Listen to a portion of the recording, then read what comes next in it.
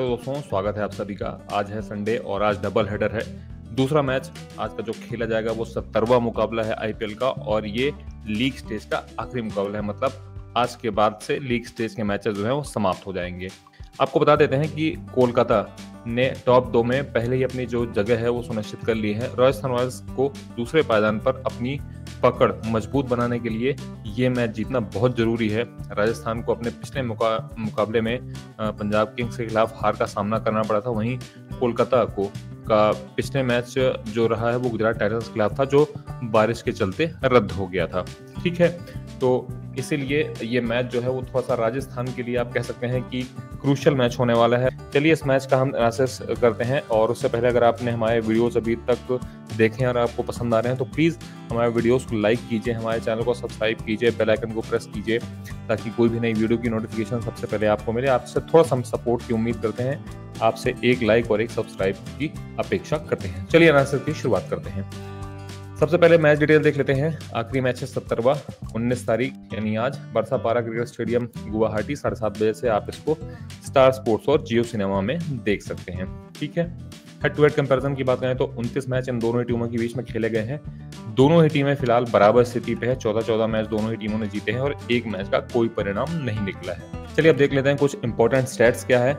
और इस पे बात करें तो के के आर के स्पिनरों ने के खिलाफ सैमसन का जो रिकॉर्ड है, वो थोड़ा सा विपरीत है। नरेन के खिलाफ उनका दृष्टिकोण अधिक सतर्क है मतलब काफ़ी सतर्क होकर बैटिंग करते हैं। उन्होंने नरेन के खिलाफ बयासी गेंदों में तीन विकेट के साथ छाछठ रन बनाए हैं, लेकिन वरुण चक्रवर्ती के खिलाफ बिना किसी आउट एक बार भी आउट हुए बिना तेईस गेंदों में उनतालीस रन बनाए हैं। इसी तरह पॉवेल रोमन पॉवेल को अपने हम वतन आंदे रसल और स्पिनर नरेन के खिलाफ विपरीत रिकॉर्ड है तो पॉवेल ने नरेन के तिहत्तर गेंदों पर इक्यावन रन बनाकर छह बार आउट किया, लेकिन रसल पर केवल 12 गेंदों में तेईस रन और एक भी विकेट नहीं गिरा उनका, ठीक है? शिमरॉन हटमार ने टी में वरुण चक्रवर्ती के खिलाफ सात गेंदों का सामना किया, और उसमें से दो बार छह रन बनाकर के आउट हुए नारायण का आर आर, यानी राजस्थान के स्पिनरों के खिलाफ शानदार रिकॉर्ड है। अश्विनी के खिलाफ उनतालीस गेंदों में से चौरानवे रन और चहल का सामना करते हुए बीस गेंदों में से उनचास रन। तो बल्लेबाजी के हिसाब से देखें तो काफ़ी शानदार है। ठीक है, अब अगर बात करें आखिरी सेट का तो नरेन आईपीएल में कुल 100 में से चार छक्के दूर है लगाने में। सैमसंग को टी ट्वेंटी अगर आप देखें तो 300 छक्के लगाने के लिए तीन छक्कों की और ज़रूरत है। ठीक है, ये तो रहे इंपॉर्टेंट स्टेट्स आगे देख लेते हैं ये राजस्थान का फुल स्क्वाड है। स्क्रीन पर आपके प्रोबे इलेवन की बात कर लेते हैं। Yashasvi Jaiswal Tom Kohler Cadmore Sanju Samson, कप्तान और wicket keeper Riyan Parag, Dhruv Jurel, Shimron Hetmyer या रोमन पॉवल में से कोई एक। रविचंद्रन अश्विन ट्रेंट बोल्ट आवेश खान, संदीप शर्मा, युजवेंद्र चहल, ठीक है?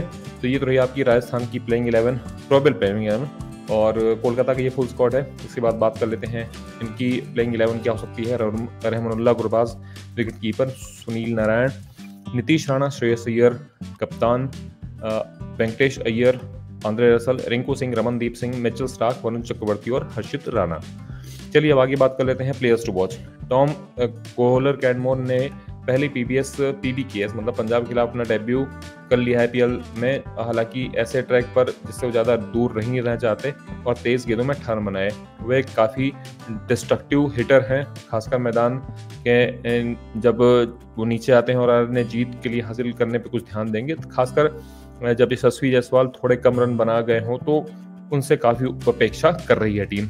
कोलर कैडमोन ने Lanka premier league P S L B BBL, Abu Dhabi T twenty और द हंड्रेड में काफ़ी अपना नाम बनाया है, ज़ाहिर है, और आरआर के लिए कुछ क्रंची गेम्स में कुछ अच्छे योगदान की उम्मीद करेगी, और अगर ऐसा कुछ देखने को मिलता है तो काफ़ी अच्छी बात होगी। ठीक है? अफ़गानिस्तान के धुरंधर बल्लेबाज सलामी बल्लेबाज यानी ओपनर रहमुल्ला गुरबाज को भी महत्वपूर्ण प्लेऑफ में से एक गेम मिलने की संभावना है। 22 साल की उम्र से उनके पास शीर्ष कम में के के आर के सुनील नारायण का साथ देने के लिए आवश्यक मारक क्षमता है।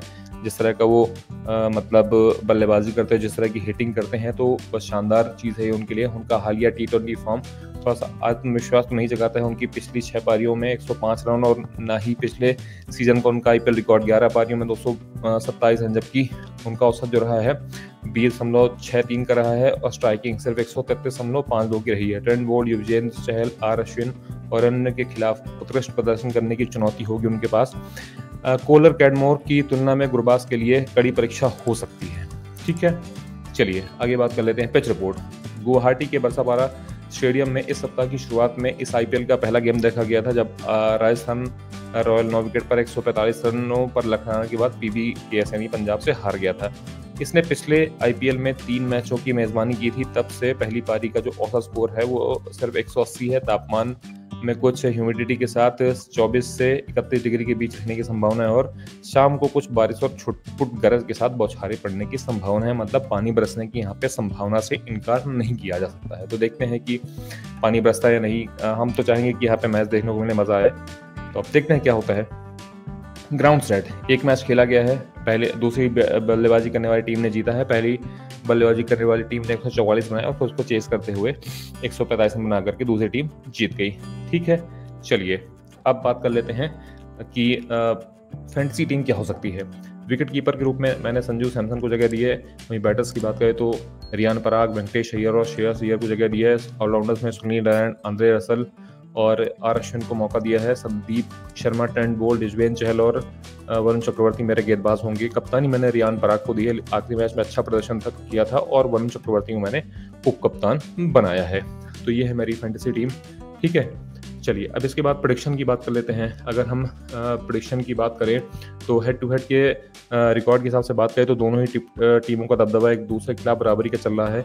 कोलकाता इस समय शानदार फॉर्म में चला है। वहीं राजस्थान को अपने पिछले चार मैचों में हार का सामना करना पड़ा है। दोनों ही टीमों में मौजूद इंग्लैंड के क्रिकेट, इंग्लैंड के खिलाड़ी जो रहे हैं, वो नेशनल ड्यूटी के चलते अपने देश वापस लौट गए हैं। दोनों ही टीमों में प्लेइंग इलेवन के में बदलाव देखने को मिल सकता है। इस मैच को कोलकाता अपने नाम करते हुए नज़र आ सकती है, क्योंकि उनका हालिया फॉर्म काफ़ी अच्छा चल रहा है और थोड़ा सा राजस्थान की टीम में आत्मविश्वास की कमी दिख रही है, क्योंकि लास्ट के चार मैच वो कंटिन्यू हारती चली आ रही है। तो इस हिसाब से कहा जा सकता है कि ये जो मैच है, वो कोलकाता अपने नाम कर सकती है। वैसे आपके हिसाब से ये मैच कौन जीतेगा, आप हमें कमेंट बॉक्स में लिख के ज़रूर बताएँ।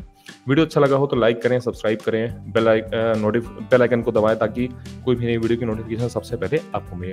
उम्मीद है कि आपको ये वीडियो पसंद आया होगा। हम फिर मिलेंगे इस नए वीडियो में। तब तक के लिए थैंक यू